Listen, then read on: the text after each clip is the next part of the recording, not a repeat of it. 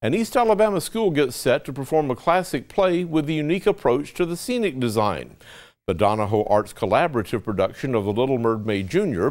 will be at the Oxford Performing Arts Center, but with a twist. The students are making the set out of trash. By using trash in the design, the students want to start a conversation about the waste polluting our oceans.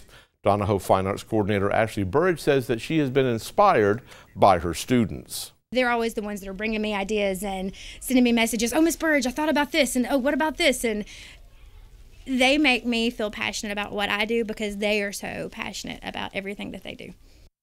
Burridge says that guests can expect to see giant coral pieces made of styrofoam and 50 foot long waves made out of grocery bags. The Donoho School held a big recycling drive back in the fall and collected items such as grocery bags, styrofoam, and plastic bottles that they're now using to create an underwater wonderland.